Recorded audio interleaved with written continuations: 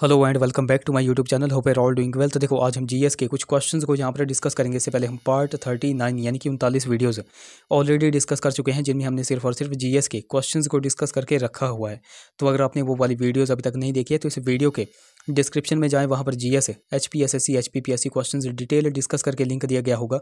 उस लिंक पर क्लिक करके आप उन वीडियोज़ को देख सकते हैं। बाकी आज हम पार्ट नंबर फोर्टी को डिस्कस करेंगे और इन क्वेश्चन को हम बिल्कुल डिटेल में डिस्कस करेंगे। बाकी अभी तक अगर आपने हमारे चैनल को सब्सक्राइब नहीं किया है तो चैनल को सब्सक्राइब कर दें, साथ में बेल आइकन को ज़रूर प्रेस करें। साथ में इस वीडियो को लाइक ज़रूर कर दें। सो क्वेश्चन नंबर हमारा ट्वेंटी वन है। When is the United Nations day celebrated every year?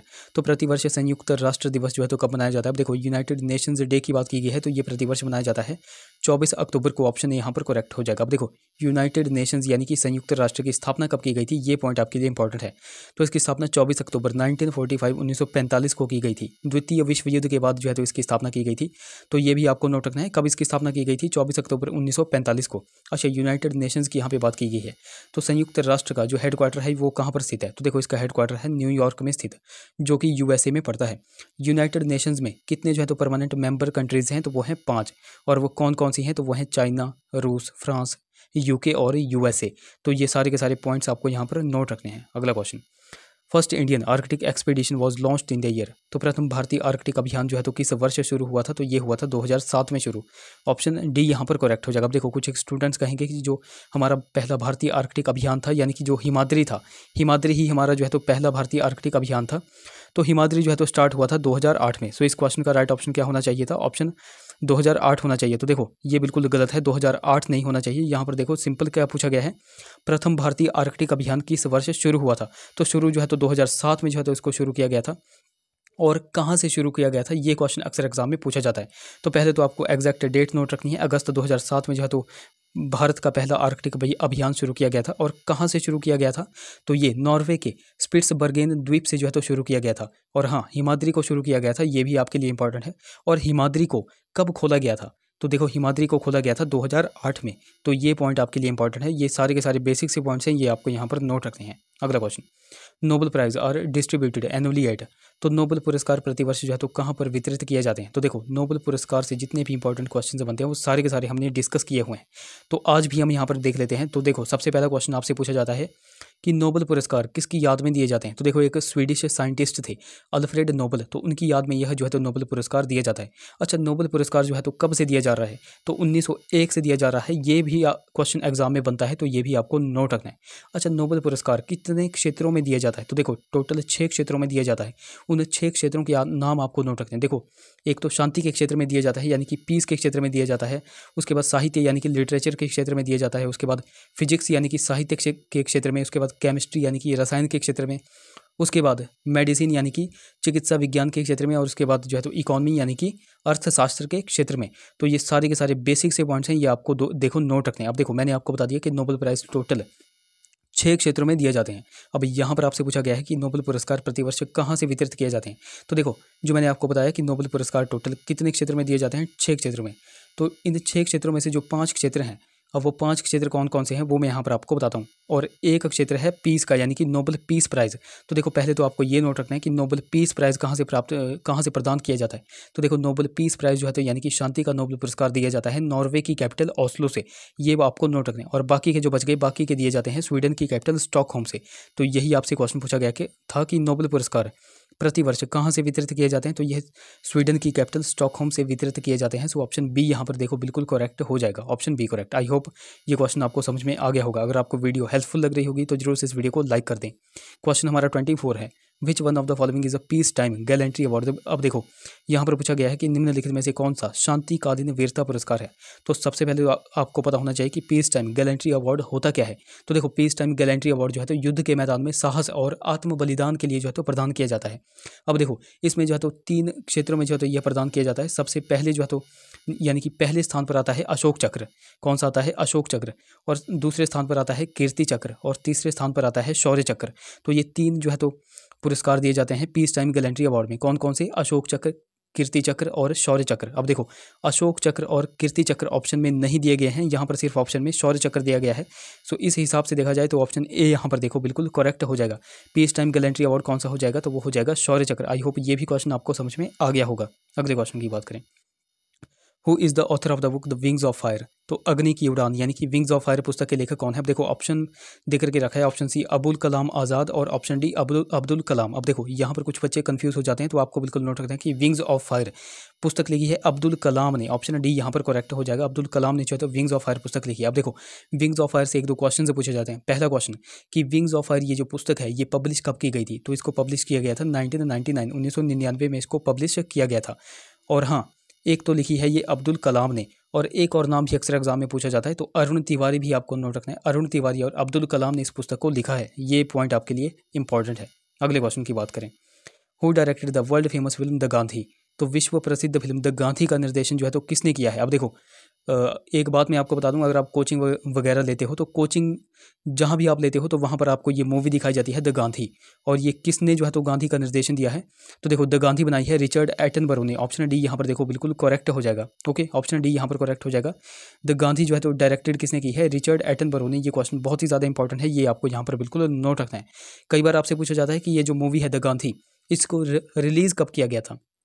तो देखो, इसको रिलीज़ किया गया था 1982 में। ये भी आपको यहाँ पर पॉइंट बिल्कुल नोट रखना है। अगला question the headquarter of the International Court of Justice is at तो अंतर्राष्ट्रीय न्यायालय का मुख्यालय कहाँ पर है? अब देखो, अंतर्राष्ट्रीय न्यायालय का मुख्यालय है द हेग में। ऑप्शन बी यहाँ पर करेक्ट हो जाएगा। अब द हेग पड़ता कहाँ पर है? तो देखो द हेग पड़ता है नीदरलैंड में। और नीदरलैंड की कैपिटल क्या है? ये आप नीचे कमेंट्स में बता दो। अब देखो, यहाँ पर मैं आपको बता दूँ इंटरनेशनल कोर्ट ऑफ़ जस्टिस है क्या? अब देखो, जो यूएन है मैंने आप अभी पिछले क्वेश्चन में ही बताया था यूएन यानी कि यूनाइटेड नेशंस तो देखो यूनाइटेड नेशंस के छः प्रिंसिपल ऑर्गन्स होते हैं। उन छः प्रिंसिपल ऑर्गन्स में ही एक है ये इंटरनेशनल कोर्ट ऑफ़ जस्टिस तो ये आपको नोट रखना है। अब देखो इंटरनेशनल कोर्ट ऑफ़ जस्टिस से बहुत सारे क्वेश्चन बनते हैं। जैसे सबसे पहला क्वेश्चन कि इसमें टोटल जजों की संख्या कितनी होती है? तो इसमें टोटल जज होते हैं पंद्रह। ये आपको नोट रखना है। अच्छा इसका कार्यकाल कितना होता है? इन जजों का कार्यकाल कितना होता है? टेन्योर कितना होता है? तो वो होता है नौ साल का। ये भी पॉइंट आपके लिए इंपॉर्टेंट है, क्योंकि अक्सर एग्ज़ाम में पूछा जाता है। अब देखो, मैंने आपको बताया कि यूनाइटेड नेशंस के टोटल छः प्रिंसिपल ऑर्गन्स हैं। उन छः में से एक है इंटरनेशनल कोर्ट ऑफ़ जस्टिस तो जो पाँच बज के, अगर आपको पाँच के पाँच नाम नोट हैं तो आप नीचे कॉमेंट्स में बता सकते हैं। अगले क्वेश्चन की बात करें। The SAARC secretariat is located at तो सार्क सचिवालय जो है तो स्थित है तो कहाँ पर स्थित है? तो ये है काठमांडू में। ऑप्शन डी यहाँ पर करेक्ट हो जाएगा। अब देखो सार्क की यहाँ पे बात की गई है। तो सार्क से जितने भी इंपॉर्टेंट क्वेश्चन बनते हैं, वो सारे के सारे हम यहाँ पर डिस्कस करेंगे। सबसे पहला क्वेश्चन कि सार्क की जो फुल फॉर्म है, वो क्या होती है? तो देखो South Asian Association for Regional Cooperation इसकी जो है तो फुल फॉर्म है। अच्छा इसमें टोटल कंट्रीज़ कितनी हैं? तो टोटल हैं आठ कंट्रीज़ और वो आठ कंट्रीज़ कौन कौन सी हैं? तो वो हैं मालदीव, श्रीलंका, भारत, पाकिस्तान, अफ़गानिस्तान, नेपाल, भूटान और बांग्लादेश। तो ये आपको यहाँ पर नोट रखना है। अब देखो सार की हमने बात कर ली। अच्छा ब्रिक्स भी एक जो है तो संगठन है ब्रिक्स तो ब्रिक्स की स्थापना कब हुई थी? इसमें टोटल कंट्रीज़ कितनी हैं? ये आप सारे का सारे नीचे कमेंट्स में बता दो। अगले क्वेश्चन की बात करें। The Nuclear Non Proliferation Treaty came into force in तो नाभिकीय अप्रसार संधि जो है तो कब अस्तित्व में आई थी? तो देखो, ये अस्तित्व में कब आई थी? तो ये आई थी 1970 1970 में जो है तो यह अस्तित्व में आई थी, ऑप्शन बी। यहाँ पर देखो करेक्ट हो जाएगा। अब देखो नाभिकीय अप्रसार संधि। यहाँ से जितने भी क्वेश्चन बनते हैं वो सारे के सारे हम यहाँ पर देखेंगे। तो देखो, यहाँ पर सबसे पहला क्वेश्चन क्या पूछा जाता है? यहाँ पर पूछा जाता है कि इस संधि में सबसे पहली बार जो है तो सिग्नेचर या फिर हस्ताक्षर कंट्रीज़ के द्वारा कब किए गए थे? तो 1968 में कंट्रीज़ के द्वारा ये जो है जो है तो हस्ताक्षर किए गए थे। फिर पूछा जाता है जो कि ऑप्शन में क्वेश्चन में पूछा गया है कि नाभिकीय प्रसार संधि जो है तो कब अस्तित्व में आई? तो अस्तित्व में आई नाइनटीन पहले हस्ताक्षर किए गए 1980 1968 में, उसके बाद अस्तित्व में आई 1970 में, और उसके बाद आपसे पूछा जाता है कि कब इसे ट्रीटी को एक्सटेंड किया गया अनिश्चित काल के लिए, कब इस ट्रीटी को जो है तो अनिश्चित काल के लिए जो है तो एक्सटेंड किया गया था तो 1995 में इस ट्रीटी को अनिश्चित काल के लिए जो है तो एक्सटेंड किया गया था। अच्छा इस संधि में टोटल कितनी कंट्रीज़ ने इसमें जो है तो साइन किए हैं? इस ट्रीटी से जुड़े हुए हैं। तो टोटल 191 कंट्रीज़ इस ट्रीटी से जुड़ी हुई हैं। तो ये भी पॉइंट आपके लिए इंपॉर्टेंट है। बाकी अभी तक अगर आपने हमारे चैनल को सब्सक्राइब नहीं किया है तो चैनल को सब्सक्राइब कर दें। बाकी अभी तक अगर आपने हमारे चैनल अब आपने हमको टेलीग्राम और इंस्टाग्राम पर फॉलो नहीं किया है तो वहाँ पर जाकर फॉलो कर दें लिंक आपको डिस्क्रिप्शन में मिल जाएगा। बाकी देखो लिंक कई बार चलता नहीं है तो आपको सिंपली टेलीग्राम पर जाना है और at the rate let's prepare to search करना है आपको हमारा चैनल मिल जाएगा। उसी प्रकार आपको इंस्टा पे जाकर के लेट्स प्रिपेयर टुगेदर सर्च करना है। अगर कोई क्वारी होगी तो आप मुझे इंस्टा पे मैसेज कर सकते हो। अच्छा थोड़े से हिमाचल के क्वेश्चन से देख लेते हैं। क्वेश्चन हमारा 124 है। The Bhutnath temple is located at तो भूतनाथ मंदिर कहाँ पर है? तो यह है मंडी में ऑप्शन ए यहाँ पर करेक्ट हो जाएगा। अब देखो, जितने भी मंदिर मंडी डिस्ट्रिक्ट में है, वो सारे के सारे हम यहाँ पर डिस्कस करते हैं। तो आज भी हम यहाँ पर देख लेते हैं। श्यामा काली मंदिर कहाँ पर है? मंडी में है। रिवालसर मंदिर हो गया, पराशर मंदिर हो गया, उसके बाद जालपा मंदिर हो गया उसके बाद माधोराव मंदिर हो गया, उसके बाद पंचवक्तर मंदिर हो गए तो ये सारे के सारे मंदिर कहाँ पर हैं? तो ये हैं डिस्ट्रिक्ट मंडी में, ये सारे के सारे आपको नोट रखने हैं। क्वेश्चन हमारा वन ट्वेंटी फाइव है।